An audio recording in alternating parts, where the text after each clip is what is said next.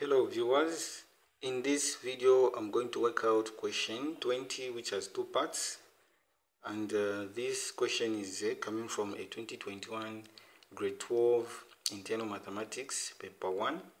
So part A reads in the diagram below AB is equal to 3 centimeters, BC is equal to 4 centimeters, AD is equal to 13 centimeters and angle ABC is equal to angle ACD which is equal to 90 degrees. Calculate the value of tan DAC. So here's our diagram. The angle ABC is shown there and the angle uh, ACD is shown as 90 degrees and also the sides given. But B, A is the point 1 comma 2 and B is the point negative 2 comma 5. Find AB as a column vector. So to start with, we're going to work out the first part. And uh, here we're going to find the value of tan DAC. So to work out tan DAC, we are going to apply Pythagoras theorem because we need the sides AC and DC. So if you've noted, DAC is this angle which is here. Angle DAC is positioned here and tan DAC is going to equal to opposite which is DC over adjacent which is AC.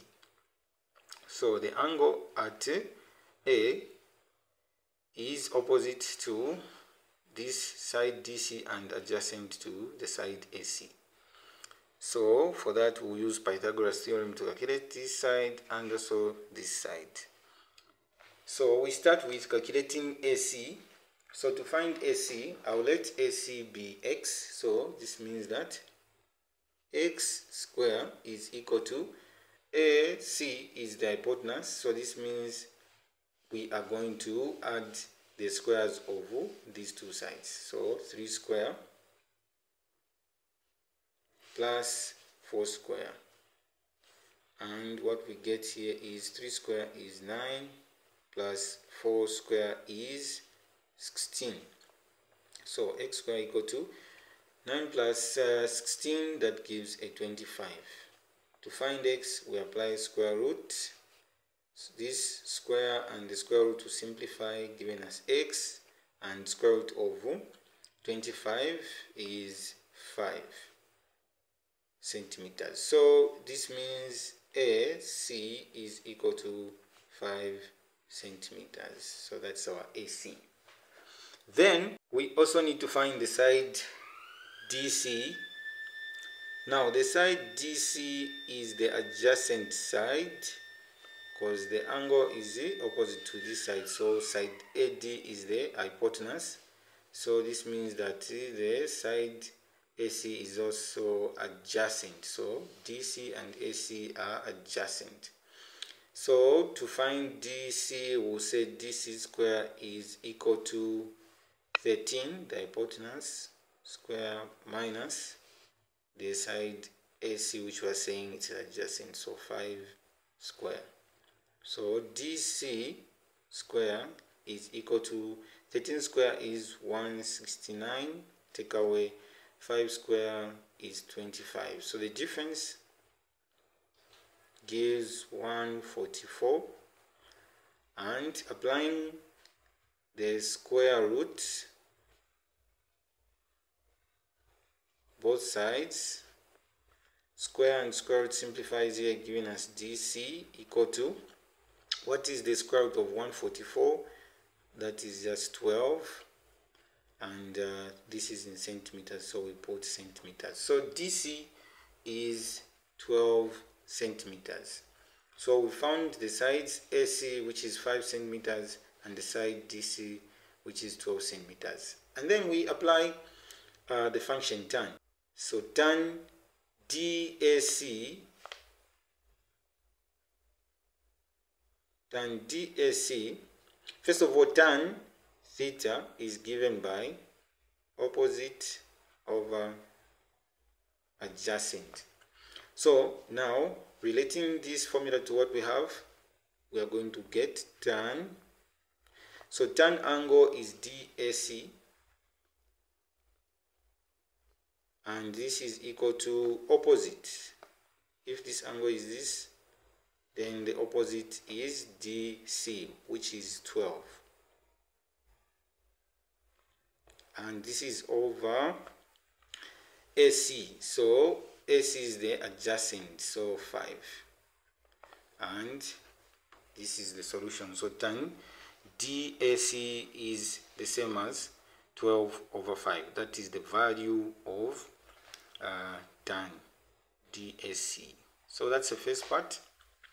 We now go to the second part. So now for the second part the points A and B have been given. The point A as 1 comma 2 the point B as negative 2 comma 5 so we want to find AB as a column vector. First of all these points given A and B can be changed to column vectors since they are given as coordinates. So we'll change the points A and B to column vectors. So that would mean an introduction of O and an arrow. So this is coming from the origin. So OA will get first of all we'll write the value of X here on top and below the value of Y. So 1 2 as a column vector. OA is 1 2 as a, a column vector. So this is from the origin. Then B is going to be OB from O to B. This is negative 2 then 5 there.